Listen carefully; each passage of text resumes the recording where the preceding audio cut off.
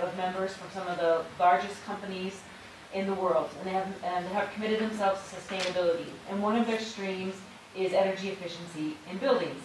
And so about five years ago, the first WBCSD reports on energy efficiency in buildings came out. And they were actually these great, very well-received reports analyzing what some of the challenges were and creating a roadmap towards sustainability.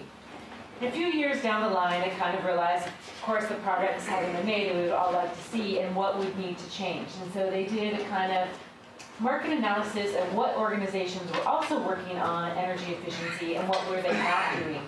And they realized that what needed to happen is to work more in the area of engagement and bringing different people together. And they decided they'd like to create a replicable model of engagement.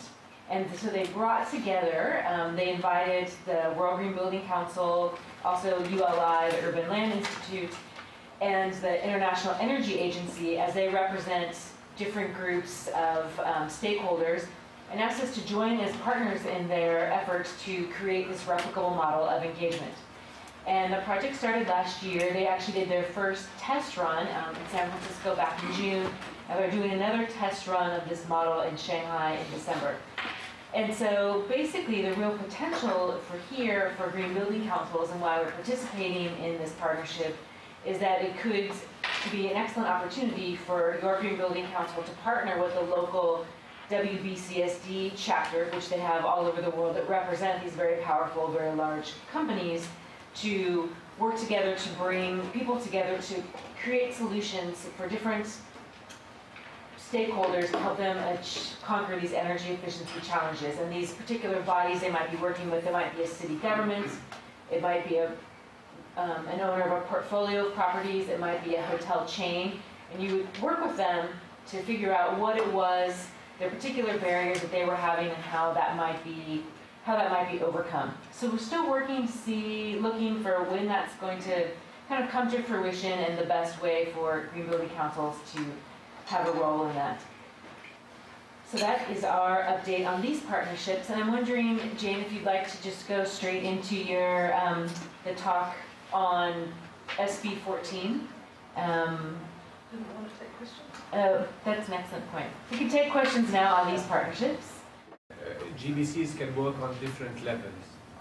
So for example, after our meetings in Malta and Egypt, we also met with the focal team in Jordan to help uh, develop their feedback to the committee which was in charge for the region. So when you do advocacy, there are different levels within which you could function. So I thought this was okay. Uh, it's part Policy Series Action Plan. And what does this mean, this new 10YFP? What does it mean to a country like us? Means that there's more funds available for projects. Uh, what, how does that what is, you know, I mean, SCP today? Mm-hmm. So the exact framework is still being worked out. Um, by the end of the year, they're hoping to have the exact you know, mechanics of the program and how the Secretariat interacts with you know, the projects and the, and the different people managing those programs, um, as well as what the trust fund uh, looks like and is made of. Uh, so that has not been decided yet. Um, but it's absolutely worth connecting with the UNEP Secretariat to, to learn more. Um, and I do have to uh, Alex?